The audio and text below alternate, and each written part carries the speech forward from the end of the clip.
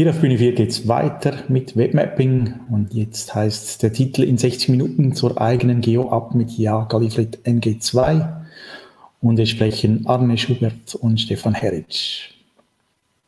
Ja, herzlich willkommen zu unserer Demo-Session. Ähm, Jaga Leaflet NG2 mit Jaga Leaflet NG2 innerhalb von 60 Minuten zur eigenen Geo-App. Eigentlich war dieser Vortrag ursprünglich als äh, Workshop geplant, aber aufgrund von Corona haben uns dazu entschieden, dieses Jahr eine Demo-Session anzubieten. Da kann jetzt einfach mal jeder mitschauen und nachvollziehen, wie man recht einfach eine App erstellen kann mit Leaflet NG2. Und das zeigen wir mal. So, was wir zuerst machen, ähm, wir installieren uns die Angular CLI. Die holen wir uns jetzt von npm. Da suchen wir uns die mal raus und irgendwo steht auch drin, wie man die installiert. Und genau da haben wir es schon. Das kopieren wir jetzt einfach rüber.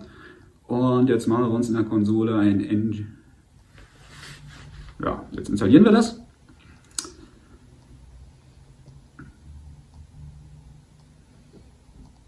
So, und das wird jetzt unser Grundgerüst, wo wir unsere App präsentieren werden. Man hätte jetzt, sage ich mal, auch was anderes nehmen können, aber wir haben uns jetzt einfach teilweise für Angular entschieden.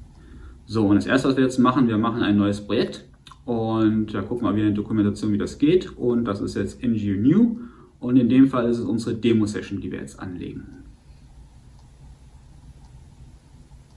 So, jetzt fragt er uns, ob wir noch ein Routing haben wollen. Sagen wir nein, ist auch schon vorgeschlagen. Dann werden wir gefragt, welchen Style wir haben wollen. Dann haben wir uns einfach für CSS entschieden. Der Einfachheit halber, wir wollen es ja jetzt nichts, ähm, ja, wir wollen es jetzt so einfach wie möglich machen und auch das präsentieren, was die meisten Leute von Ihnen kennen werden. So, Jetzt, installiert, jetzt erstellt er uns das ganze Projekt und das dauert jetzt einen Moment und dann haben wir im Prinzip den Rahmen, wo wir hinter unsere Geo-App äh, jetzt gleich erstellen werden, schon fast fertig.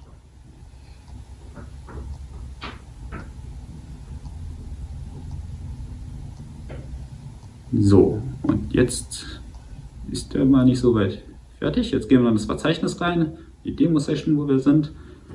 Und jetzt können wir auch schon direkt unser Leaflet NG2 Modul installieren. Und dazu gehen wir auch wieder auf npm und auch hier haben wir wieder eine kleine Installationsanleitung. Und da kopieren wir uns einfach wieder raus npm install. Und das geben wir jetzt in der Konsole ein. Und jetzt wird uns Leaflet noch als ganz normales Angular Modul installiert, so wie man es halt eben auch kennt. Ähm, ja, unterm Strich wollen wir auch die äh, Seite uns jetzt mal einfach angucken, soweit wie es jetzt schon ist. Gehen wir dafür aber erstmal in einen Editor, äh, in, in einer IDE unserer Wahl. Und ähm, ja, von da aus können wir dann auch gleich ein bisschen schöner weiterarbeiten. Äh, das Schöne ist, äh, Jager hat halt eben auch direkt äh, hier zum Beispiel bei IntelliJ eine Unterstützung, dass er auch automatisch erkennt, welche Directives es gibt und hat auch Autovervollständigung und ähnliches. Das sollte das Arbeiten leichter machen. So, wir starten unseren Development Server nun mit ng-serve. Äh, jetzt baut er die gesamte Applikation zusammen. Das dauert beim ersten Mal natürlich noch ein bisschen länger, ähm, aber sobald das einmal passiert ist, äh, macht er quasi nur noch Updates und jetzt können wir uns das Ganze einfach bei uns im Browser angucken und hier haben wir unsere Start-App. So, äh, damit wir ähm, ein bisschen was vorzeigen können, haben wir noch ein paar Assets äh, zusammengesammelt. Unter anderem haben wir aber auch dazu die Leaflet äh, Styles gelegt. Äh, die fügen wir jetzt hier einfach nochmal hinzu. Im Endeffekt muss man Leaflet-typisch halt eben die CSS-Styles mit da hinzufügen. Weil es unterschiedliche Wege gibt, wollten wir da nichts vorgeben. Dafür muss man es aber halt eben selber auch nochmal sich drum kümmern, so gesehen. Das heißt also, wir fügen es hier in diesem Beispiel einfach nur als äh, Style-Sheet äh, direkt in die äh, Index-Datei quasi mit dazu und ähm, fügen dadurch die Leaflet-Styles, die wir brauchen, alle mit hinzu. So, als nächstes äh, brauchen wir vor allen Dingen unser Library selber. Zunächst muss man ein Modul in Angular ja mal erst registrieren. Äh, wir holen uns jetzt hier auch einfach das äh, Jager-Modul einfach nur aus unserem äh, Library heraus und ähm, ja, fügen das dann hier in den Imports auch hinzu. So, äh, die Demo-Seite können wir jetzt erstmal quasi löschen. Fangen wir einfach von vorne an und legen einfach nur eine Jager Map zunächst auf die Karte. Das ist wie gesagt diese Directives-Schreibweise, äh, dass man halt eben äh, Elemente, die wir aus Leaflet kennen, einfach in ähm, ganz einfache HTML-Text, äh, wenn man so will, umformen kann. So, dazu erstellen wir uns aber auch noch ein Teil-Layer. Und ähm, ja, der nächste Punkt ist dann die CSS. Ähm, Sachen, also das Styling der, der Karte. Leaflet selber braucht auch mindestens eine Höhe und eine Breite, sonst wäre halt eben die Karte 0 x 0 Pixel groß. Hier haben wir auch noch einen Vorteil, dadurch, dass die Directive ja quasi Jager Map heißt, können wir auch einfach im CSS das ganze Ding Jager Map nennen.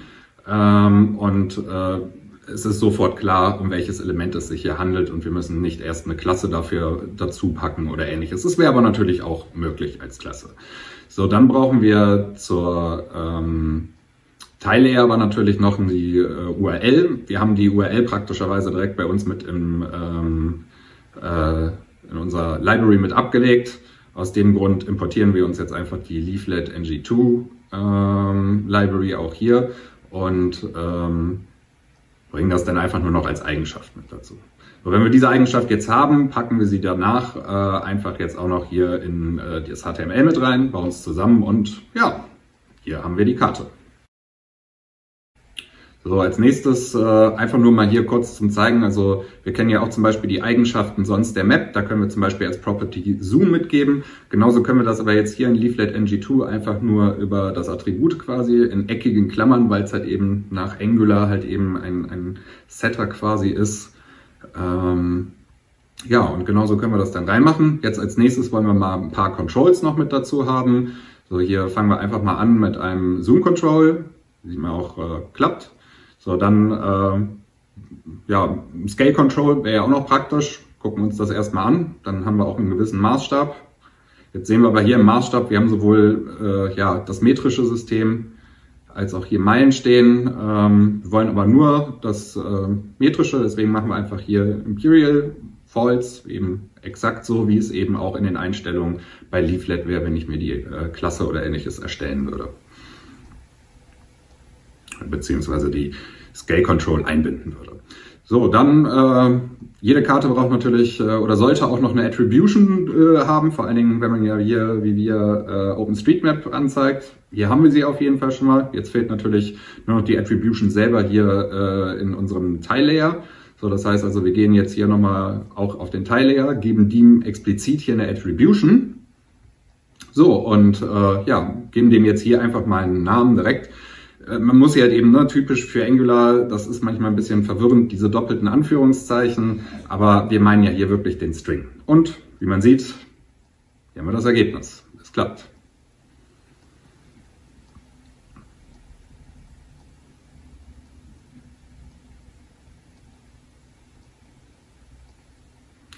Auf der Karte wollen wir natürlich auch äh, noch mehr sehen als einfach nur eine Grundkarte. Ähm, fangen wir doch einfach mal mit einem Marker an.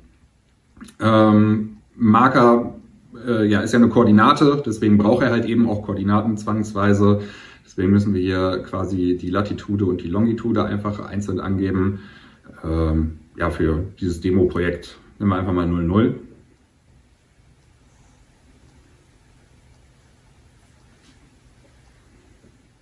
Ja, und hier haben wir auch schon äh, unseren Punkt.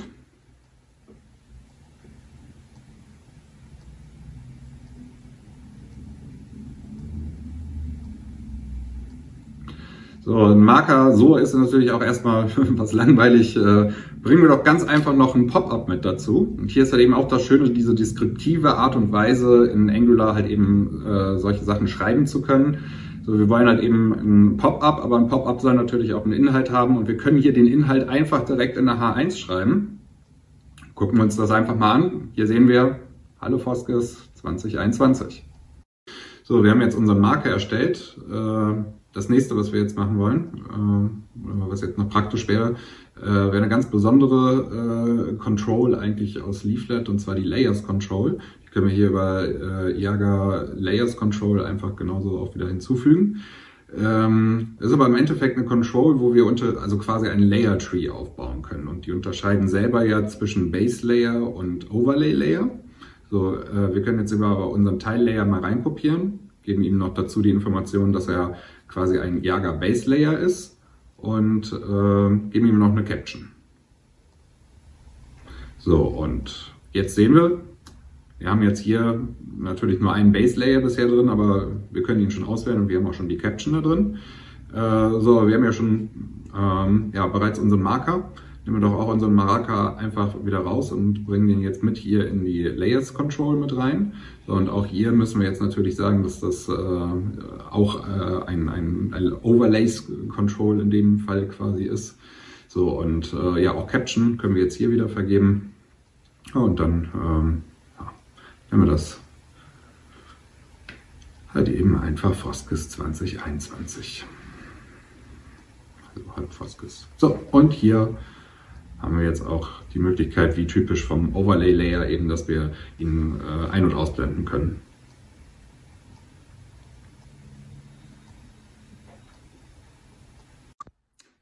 So, und als nächstes haben wir uns überlegt gehabt, wollen wir einfach mal ein Bild auf die Karte legen und dazu erstellen wir jetzt ein Jager Image Overlay.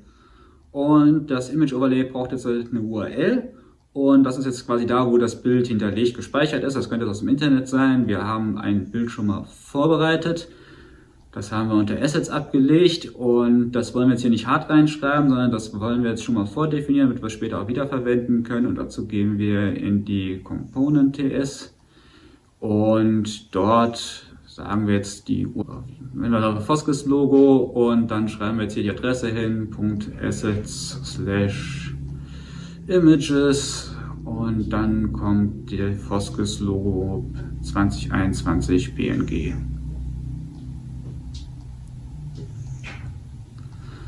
So, jetzt haben wir das hier schon mal vordefiniert. Dann können wir jetzt wieder zurückgehen in unsere HTML. Und dort können wir jetzt als URL das Foskes Logo angeben. So, jetzt haben wir schon mal im Prinzip das Bild auf der Karte, aber das Bild müssen wir jetzt dann noch irgendwie positionieren. So, da brauchen wir jetzt verschiedene Koordinaten das positionieren. Das heißt, wir brauchen jetzt auf jeden Fall eine North-Koordinate. Dann brauchen wir, geben wir einfach mal plus 10 ein. Und dann brauchen wir Süd noch und dann nehmen wir einfach mal minus 10.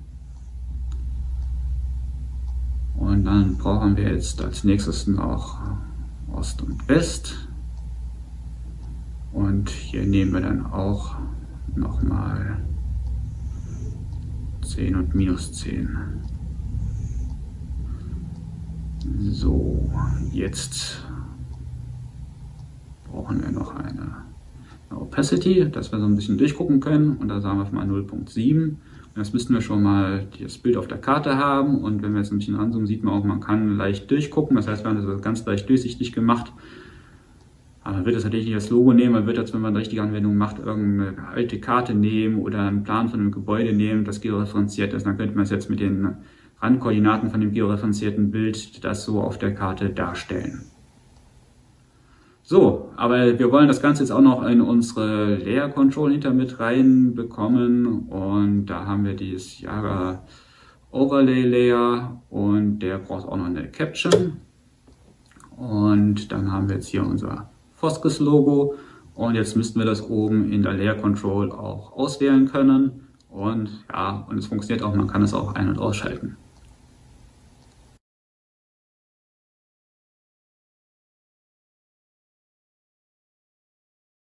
machen und zwar wollen wir jetzt uns noch einen Marker reinsetzen, den man auch editieren kann. Wir wollen jetzt ja noch ein bisschen das Two-Way Data Binding zeigen, was uns Angular ermöglicht. Und damit das hinterher auch alles funktioniert, äh, müssen wir jetzt erstmal uns von Angular Forms äh, importieren. Das brauchen wir nämlich jetzt später noch. Das bereiten wir jetzt aber schon mal direkt vor. Was wir hier oben mit drin stehen haben. So, und dann müssen wir es hier auch noch mit dazu tun.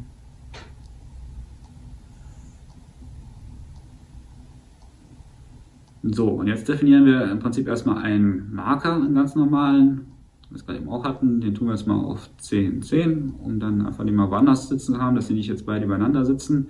Fügen den erstmal hinzu und versuchen jetzt aus der TS, wo wir es gerade vorgefertigt haben, dort die Sachen rauszuziehen. So, und dann haben wir jetzt hier unseren Marker lat und unseren Marker long. Das sind jetzt genau die Werte, die wir definiert haben. Und wenn wir jetzt alles richtig gemacht haben, dann müsste der leicht versetzt neben dem anderen Marker liegen. Gucken wir uns mal an und da haben wir ihn auch schon.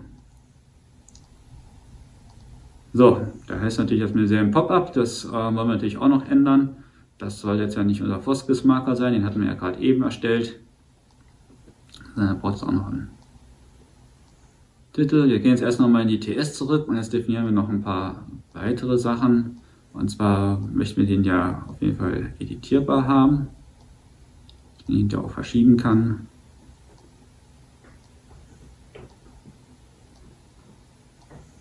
Und jetzt gehen wir nochmal zurück und unser Draggable rein. So, das damit können wir den Marker auf der Karte verschieben mit dieser Option. So, als nächstes setzen wir die erstmal in äh, runde Klammer noch mit dazu, damit wir das Two-Way-Data-Binding ermöglichen dass wir quasi auf der Karte Sachen ändern können, die sich auch direkt im Datenmodell ändern und umgekehrt. Das ist, kann man mit Angular machen, indem man das einfach in runde Klammern zusätzlich noch dazu schreibt. Dann kann das von beiden Seiten hinterher befüllt werden. So, gucken wir mal, ob das klappt. Und die Karte ist da. Hat geklappt. Dann können wir, steht immer noch Foskis 2021. Das ändern wir jetzt gleich im Hub. Dann können wir jetzt wieder zurückgehen. Und als nächstes ändern wir jetzt endlich mal den Text ab, dass wir sehen, dass wir jetzt hier einen neuen Marker haben und nicht mehr, dass es derselbe Foskes-Marker ist. So, und das ist unser Editable-Marker. Und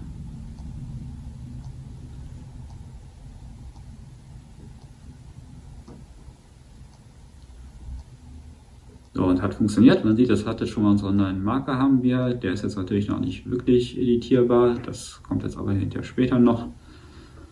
Äh, gehen wir nochmal in der TS nach. Ähm, wir brauchen jetzt noch den Name von dem Marker. Das ist einfach unser editierbarer Marker. Und in HTML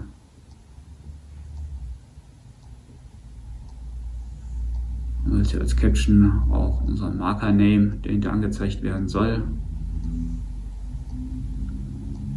So, müssen wir noch etwas definieren. Wir können jetzt natürlich auch den Marker Name als Name machen. Dann haben wir den auch im Pop-up direkt drin, der einem angezeigt wird. Das ist quasi alles das, was wir in der TS vorher definiert haben. An Werten, die besitzt jetzt der Marker. Man sieht, ist, das Name ist noch davor gekommen.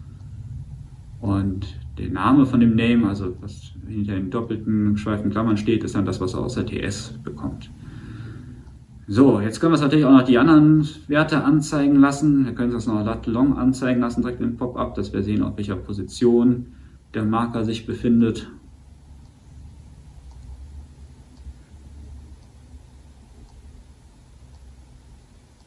Und dann holen wir auch wieder die Sachen aus unserer TS heraus, die wir gerade definiert hatten, Marker lat und Marker long. So, dann machen wir direkt einen Zeilenumbruch, dass wir das gleich untereinander sehen im Pop-up. Jetzt gucken wir das Ganze nochmal an. Und da haben wir jetzt auch die Position von dem Marker direkt mit reingeschrieben. So, jetzt ist der aber immer noch nicht editierbar. Das müssen wir immer noch machen. Wir kriegen jetzt erstmal nur die aktuellen Werte angezeigt. Aber die funktionieren schon mal.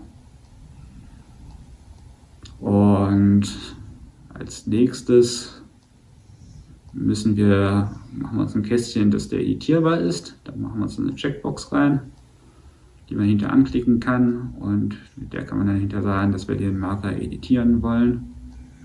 Dazu brauchen wir jetzt dieses ng Model und das ist genau das, wofür wir gerade eben die Forms installiert haben. So und hier können wir jetzt den Marker Editable setzen, True und False und jetzt draufdrücken ist es True und man kann ihn editieren und wir sehen, das Draggable ist schon umgesetzt, was wir gerade reingeschrieben haben. Das heißt, wir können den Marker wunderschön auf der Karte verschieben und man sieht halt eben auch, wie sich die Koordinaten verändern. So, aber wir wollen ja die Koordinaten auch so hinterher noch äh, verändern können. Jetzt nur den Marker zu verschieben, ist zwar ganz schön und praktisch, aber man will ja dem auch dem Marker feste Koordinaten direkt mitgeben.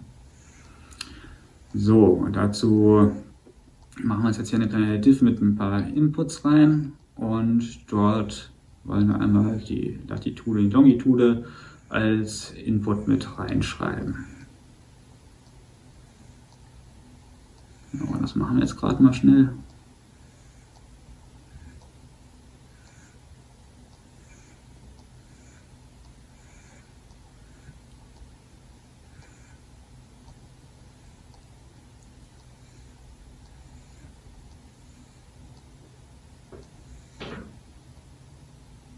So, wir direkt die Zeilenumbrüche wieder rein, dass wir die Sachen gleich schön im Pop-up untereinander haben und nicht in einer Reihe. Und das gleich noch Typ Number werden. Dann machen wir das Ganze nochmal. Und jetzt alles richtig gemacht haben, sollten wir hier den Namen des Pop-ups sowie die Koordinaten umändern können. Und man sieht jetzt auch gleich in dem Moment, wo man die Koordinaten ja, jetzt haben die sich verändert und jetzt können wir natürlich auch hingehen, den Namen einfach ändern, sagen, das Ganze ist Afrika und wenn jetzt hier auch die Koordinaten noch ein bisschen anpassen, dass Afrika nicht so krumme Koordinaten hat, sondern ganz glatte. Und man sieht eben damit, dass sich auch der Punkt dementsprechend bewegt. Na, das hat noch nicht so ganz geklappt. Ja. Jetzt aber. Und da sieht man, der Punkt ist gesprungen. Wir haben Afrika angelegt und ja, man sieht, Two-Way Data Binding funktioniert alles wunderbar. Wir können jetzt im Pop-up die Koordinaten abändern, können den Punkt editieren und als nächstes gucken wir mal nach. Jetzt müssten wir den auch in unserer Layer Control haben. Genau richtig, jetzt können wir Afrika auch noch ein- und ausschalten. So, dann gehen wir durch. Dann sehen wir nochmal alle unsere Marker, die wir auf unserer Karte gemacht haben. Und das ist unser editierbarer Marker. So, ähm, ja, als nächstes äh, machen wir doch einfach mal eine variable Anzahl an Markern, die wir benutzen können. Äh, dafür nehmen wir jetzt ja, erstmal einen Marker, äh, das Model davon erstmal in Markers um und machen ein Array draus. Äh, außerdem möchten wir vor allen Dingen dann weitere Punkte hinzufügen. Dafür äh, fügen wir die AddMarker-Methode mit hinzu äh, ja, und machen da eigentlich nichts weiteres, als in dieses Array äh, eben äh, ein, ein weiteres Objekt reinpushen. Äh, ja, wir nehmen jetzt einfach mal minus 10 jeweils, damit der Punkt dann an einem anderen Punkt äh, auf der Karte erscheint. Und wir gehen natürlich hin und machen den von vornherein dann hier jetzt editable, damit wir ja, ihn auch direkt an die richtige Position schieben können. Ja, das Ganze müssen wir dann natürlich auch noch hier bei uns äh, im, im, View anpassen. Ähm, schreiben also zunächst äh, müssen wir hier über die Elemente drüber iterieren. Das kann man bei Angular mit ng4 und schreiben jetzt hier einfach ähm, let äh, marker of markers das Schöne ist jetzt auch innerhalb unseres sonstigen Codes, den wir hier haben, äh, haben wir nämlich schon den Marker. Das heißt, wir müssen jetzt eigentlich nichts weiter mehr ändern, aber wir, nehmen jetzt schon quasi das Element aus dem Array und haben eigentlich schon dynamisch viele. Wir können sie hier auch schon trotzdem ja, weiterhin bearbeiten und so weiter. Ja, aber äh, wie gesagt, wir wollten ja eigentlich weitere Punkte hinzufügen. Ähm, das machen wir jetzt einfach mal, indem wir hier unten noch einen Button hinzufügen registrieren hier noch das Click-Event einfach von Angular. Und äh, ja, bringen das auf das Add-Marker. Und äh, ja, schreiben noch kurzen Text mit in den Button.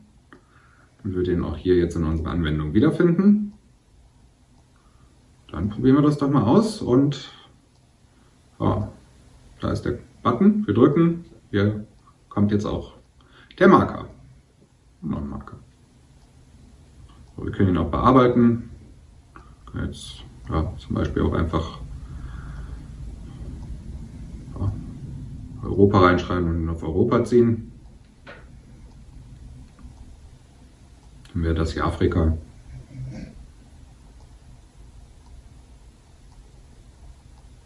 Und dann haben wir hier noch einfach Nordamerika draus.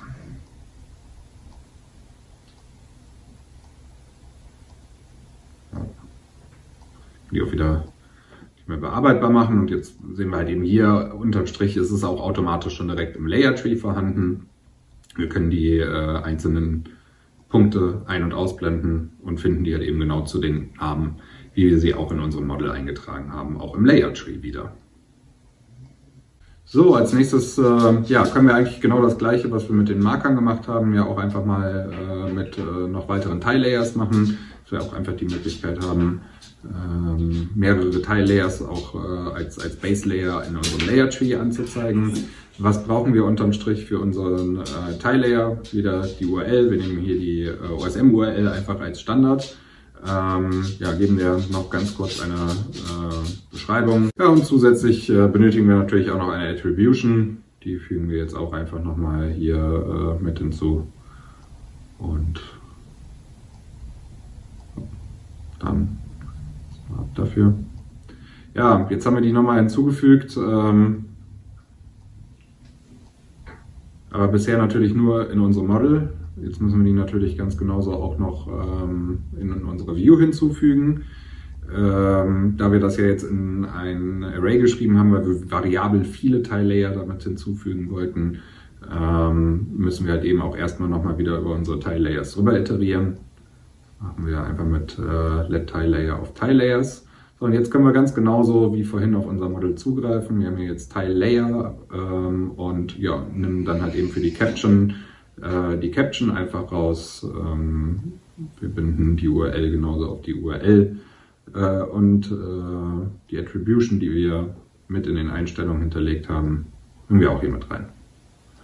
So, dann können wir uns das auch nochmal angucken.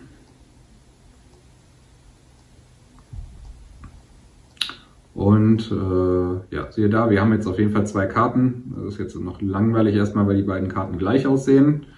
So, also äh, nächster Schritt wäre dann auch hier diese Daten einfach mal äh, über Inputs bearbeitbar zu machen. So, äh, dafür bauen wir uns aber hier noch vielleicht ganz kurz eine Tabelle. Äh, stylen die hier jetzt auch noch so ein bisschen, äh, dass das auch später in der Darstellung gut aussieht. Ja, äh, schränken wir am besten auch ein bisschen in der Breite.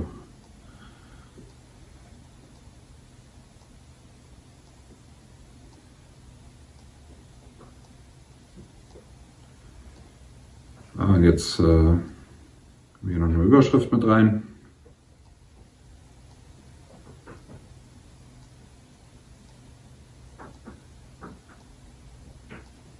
Ist erstmal für die Marker und äh, jetzt äh, verschieben wir das hier erstmal nach oben noch und dann duplizieren wir uns hier mal unsere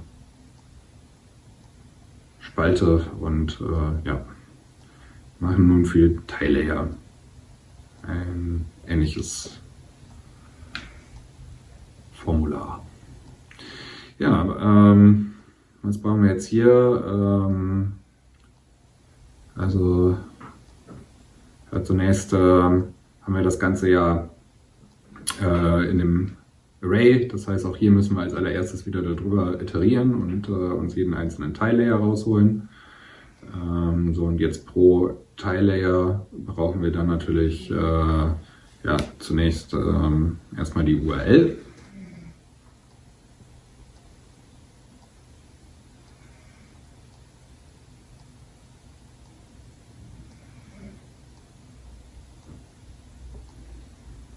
So, das äh, verbinden wir jetzt auch wieder mit unserem Model.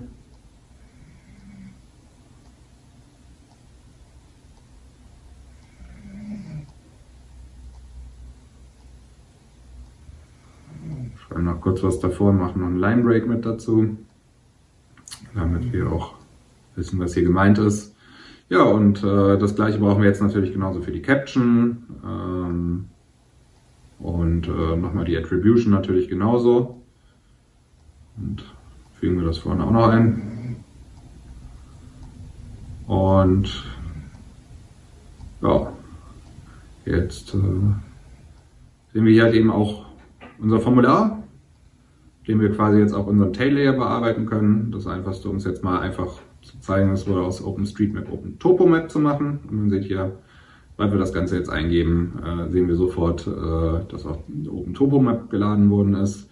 Äh, wie gesagt, wir können ihr jetzt sowohl eine Caption für den Layer Tree geben, als auch eine Attribution. Wie wir sehen, während wir es hier schon unten eingeben, ähm, ändert sich schon automatisch der Text. Also wie gesagt, der Vorteil des Two-Way Data Bindings. Ähm, ja, und äh, hier können wir jetzt auch schon endlich zwischen zwei unterschiedlichen Base-Layern auch mal hin und her wechseln. Da haben wir auf jeden Fall unseren Teil-Layer. Jetzt wäre es natürlich ganz nett, wenn wir das Ganze für den Marker uns auch anzeigen lassen können. So, und dafür kopieren wir uns jetzt einfach mal die Sachen, die wir gerade eben geschrieben haben, setzen die unten beim Marker unten drunter und passen jetzt entsprechend an. Also wir haben jetzt natürlich jetzt nicht mehr den Teil leer, sondern wir haben den vordefinierten Marker, den wir jetzt ähm, uns anzeigen lassen wollen. So, jetzt gehen wir entsprechend hier die Sachen alle nochmal zurück. Nur er hat er nicht, dafür hat er eine lat. Und statt Duration hat er Name. Und dann müssen wir jetzt hier entsprechend die Sachen eintragen. Das ist wieder genauso wie beim Layer, die Marker.lat.long und Name. So, und wenn wir das jetzt alles richtig gemacht haben, oder wir kopieren das noch, haben wir noch die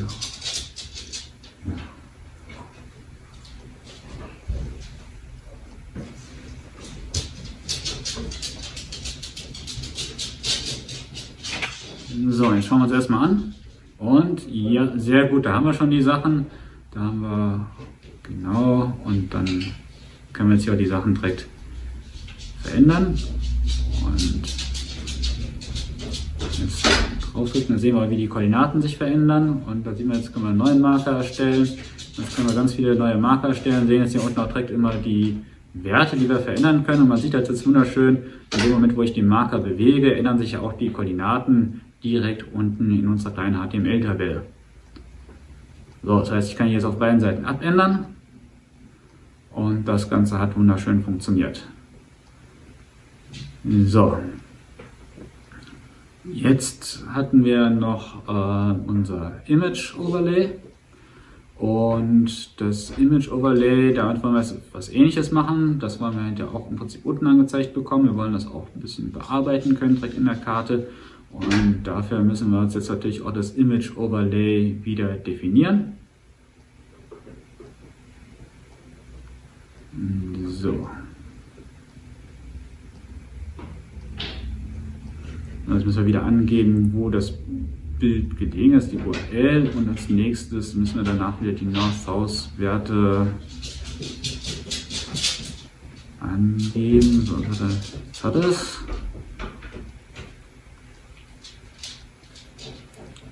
So.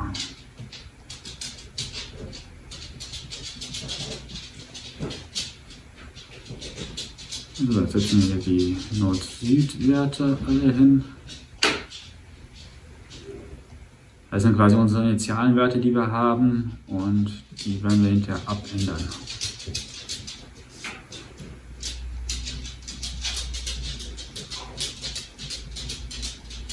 So, Opacity hatten wir auch noch gehabt, da hatten wir 0.7 gesagt.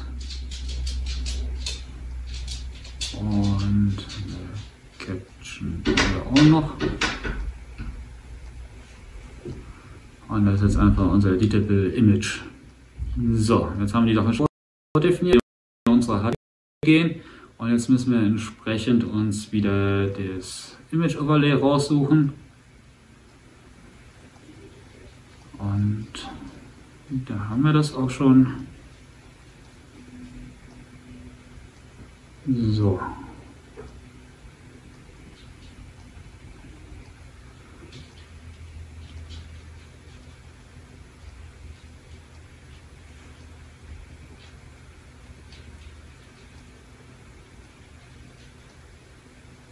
So, jetzt nehmen wir das quasi an mit den ganzen Konstanten, die wir uns hatten. Das ist jetzt hier quasi die Image Layer Caption. Und dann hatten wir als nächstes die ganzen URL noch gehabt, wo das Bild hinterlegt ist. Das ist auch unsere vordefinierte Variable. Und jetzt können wir oben die ganzen Sachen North House äh, schon mal kopieren. Dann müssen wir das nicht alles nochmal schreiben. Und das brauchen wir bei den Werten, die müssen wir jetzt nur noch mal ersetzen durch die Sachen, die wir jetzt gerade eben in der TS vordefiniert haben. So, in dem Fall ist das dann jetzt hier Image Layer North. So, das können wir jetzt einfach kopieren und das machen, setzen wir bei anderen auch ein und ändern dann dementsprechend immer nur die Himmelsrichtung nochmal ab.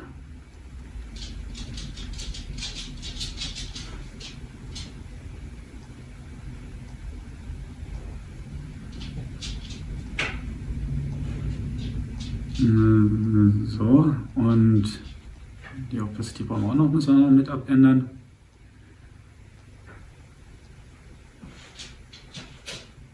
Und danach gucken wir uns nochmal an, ob das Ganze auch noch funktioniert. Und jetzt haben wir natürlich zweimal dasselbe Bild übereinander. Man sieht jetzt aber auch schon ein kleineres und größeres Bild.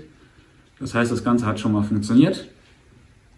Und jetzt müssen wir natürlich unten unsere HTML-Tabelle entsprechend noch erweitern, dass wir auch die ganzen Werte, die das Bild hat, unten noch angezeigt bekommen.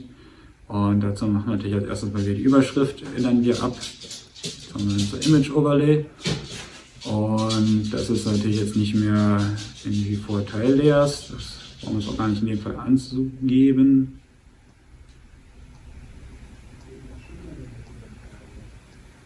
Hm, so, kopieren wir einfach die Sachen, die anderen nehmen wir jetzt mal raus.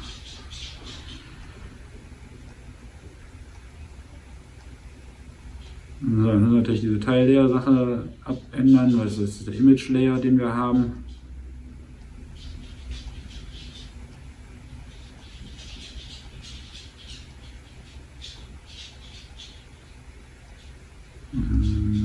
So, und jetzt können wir die ganzen Werte eintragen. So, und dann machen wir jetzt einfach gleich Nord-Süd hintereinander. Und der Input-Type ist natürlich jetzt hier Number und nicht Text. Das müssen wir jetzt auch noch ändern. So, probieren wir es nochmal. Dann machen wir jetzt unten runter die Ost-West-Werte. Das sind dann die Randwerte, wo das Bild drin aufgespannt ist.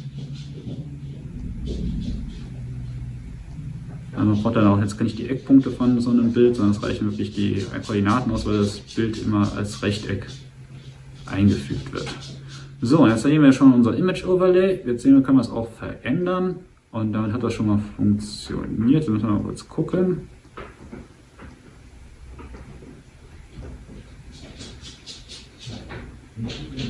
So, dann machen wir die Breite weg, dass wir das jetzt hier ein bisschen schöner sehen. Jetzt haben wir es auch wirklich nebeneinander so wie gedacht. Und jetzt können wir hier die Werte verändern. In dem Moment, wo wir die Werte verändern, ändert sich das Bild auch auf der Karte. So, jetzt haben wir das nochmal neu. Und jetzt können wir das Bild einfach mal verschieben. Und zwar schieben wir das jetzt mal auf unsere Breiten und ändern einfach mal die Breite hinzu. Da haben wir jetzt einfach ein plus 50 mal drauf gesetzt. Und jetzt sieht man schon, das Bild ist jetzt nicht mehr rund, sondern es ist, es wird jetzt langsam Richtung Ei, obwohl die Abstände genau gleich sind. Ja, das ist jetzt auch nochmal, das sind jetzt keine Pixelwerte, sondern das sind in dem Fall Koordinaten. Das ist einfach die Verzerrung dadurch, äh, durch die Koordinaten. Dadurch äh, wird das Bild jetzt im Ei, wenn wir jetzt auf 75 gehen würden, dann wird die Verzerrung hinterher sogar noch größer. Ja, das ist auch der Grund, weshalb Grönland so groß auf der Welt dargestellt ist. So, diesen schönen Effekt konnten wir jetzt auch nochmal mit dem Image Overlay sehen. So, jetzt haben wir im Prinzip ein paar wesentliche Bestandteile einer jeden Karte mal gezeigt gehabt. Wir hatten jetzt den Marker gehabt, wir hatten das, den Teillayer gehabt als Basiskarte und ein Image Overlay gehabt.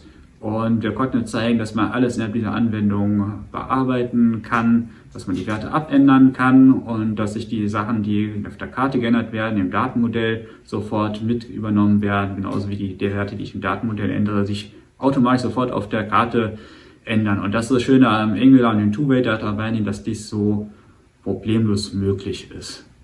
Auf jeden Fall haben wir jetzt im Prinzip alles Wesentliche mal gesehen, was eine Karte ausmacht und ich hoffe, es hat Ihnen gefallen und vielleicht fanden Sie es ja so einfach und genial, dass man mit fast nur HTML-Kenntnissen eine ja, kleine Geo-App sich in dieser kurzen Zeit erstellen kann und vielleicht benutzen Sie einfach mal das Framework oder vielleicht wurde auch Ihr Interesse geweckt und Sie entwickeln fleißig mit. Das Ganze finden Sie auf GitHub und jeder ist gerne eingeladen, sich an der Entwicklung zu beteiligen.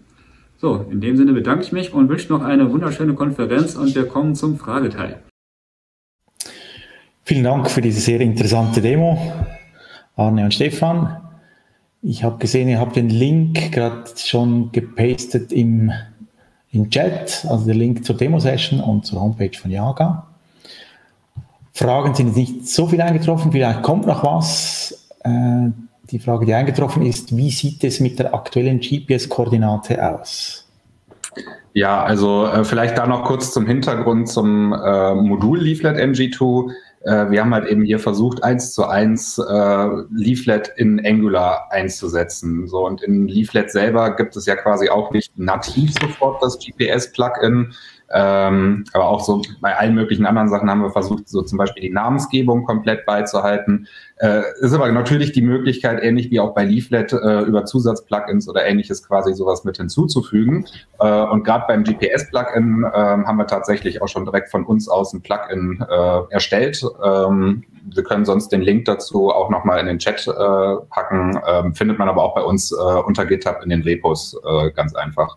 Da ist dann das Leaflet MG2 äh, GPS-Modul auch mit dabei. Besten Dank. Äh, so eine grundsätzliche Frage von mir. Leaflet ist ja eigentlich sehr beliebter Web-Client oder Karten-Client, aber so in der GIS-Welt ist OpenLayers eigentlich Nummer eins. Ähm, könnt ihr vielleicht ein bisschen so Vor- und Nachteile von Leaflet aufzählen? Wieso nutzt ihr Leaflet? Mhm. Also das war äh, vor allen Dingen damals noch eine Entscheidung, ähm, als Open Layers auch noch nicht so weit vor allen Dingen mit den Mobilclients war, ähm, als wir das schon angefangen hatten zu implementieren. Äh, ich würde sagen, mittlerweile ist natürlich auch Open Layers da einige äh, Schritte weiter und äh, die kann man äh, auch für mobile Seiten sehr, sehr gut nutzen. Ähm, wir haben aber auch schon relativ viel mit Leaflet äh, im Vorfeld quasi genutzt, weil es halt eben gerade für unseren äh, Anwendungsfall in mobilen Apps ähm, damals vor allen Dingen deutlich äh, besser genutzt werden konnte. Ähm, und äh, da waren halt eben äh, vor allen Dingen die Vorteile, dass es einfach ein relativ kleines Modul war. Ähm, und wir fanden auch eigentlich diesen Ansatz quasi eher mit einem kleinen Modul, was man erweitern kann, erstmal besser als den Ansatz quasi ein großes Modul zu haben, was äh, fast alles kann, aber dafür was sperriger ist.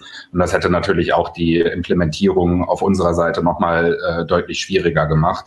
Ähm, und äh, ja, gerade in, in, den älteren Versionen ähm, von Leaflet äh, im Vergleich zu Open Layers fand ich auch die API äh, etwas moderner, wodurch das äh, halt eben auch in die Integration mit Angular äh, uns in die Karten gespielt hatte. Und das waren dann damals die Entscheidungen, warum wir das äh, dafür entschieden hatten. Und seitdem wir das halt eben umgesetzt haben, haben wir uns dann natürlich auch weiterhin auf Leaflet gesetzt.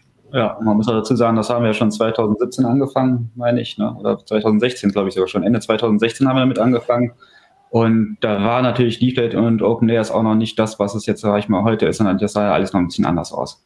Na, und mittlerweile, klar, OpenLayers ist ja eigentlich genauso gut, wenn nicht sogar besser, ist auch umfänglicher vom Funktionsumfang. Ähm, damals war uns vor allem diese Mobilsache besonders wichtig. Mhm.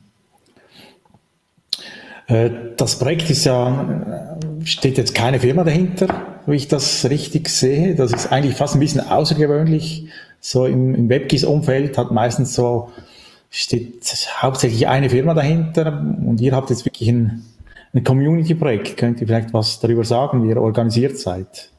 Ja, also wir sind ein komplettes Community-Projekt und ähm, ja, also die ursprüngliche Idee kam schon aus Schulzeiten, dass wir sowas mal machen wollten in die Richtung. Und dann haben wir hinter, das sind wir unseren eigenen Lebensweg gegangen und dann hinter später sind wir nochmal auf die Idee gekommen, im Rahmen äh, eines Museumsprojekts eine ähm, Geo-App zu machen. Und ja, dann haben wir angefangen gehabt, quasi vielleicht zu entwickeln. Und da war für uns eigentlich von Anfang an klar, dass wir das ganz gerne halt eben als Open Source Projekt machen wollen und dass sich da auch jeder gerne dran beteiligen darf. Und ähm, ja, so gesehen sind wir jetzt quasi ein Framework ohne Firma und nicht eine Firma mit Framework. Und äh, ist auch bis heute jeder herzlich eingeladen, ähm, daran teilzunehmen. Und wir hatten eigentlich auch weltweit ähm, ja recht großen Zuspruch erfahren gehabt. und haben viele Leute angeschrieben, auch Fragen gestellt gehabt, die das für eigene Projekte verwenden wollen. Und ja, jeder ist natürlich frei, das zu verwenden, aber wie gesagt, jeder ist natürlich auch herzlich eingeladen, das weiterzuentwickeln oder auch fleißig Plugins zu entwickeln, die nicht im Funktionsumfang von Leaflet inbegriffen sind. Und ähm, ja, als Beispiel das GPS-Plugin, da habe ich gerade eben auch mal den Link in den Chat reingeschrieben gehabt. Ähm, ja, also wer noch weitere Plugins braucht, ähm, kann gerne fleißig äh, mitentwickeln. Ja, wir haben auch gesehen, dass das Interesse ist durchaus da. Also haben jetzt hier doch viele Zuschauer gehabt. Das heißt, offenbar interessieren die Technologien und kommen an. Und ja, das Projekt sieht ja wirklich sehr schön aus. Aber ich glaube, wir schließen jetzt hier. Ich danke euch beiden recht herzlich für den interessanten Vortrag, für eure Arbeit, die ihr da reingesteckt habt.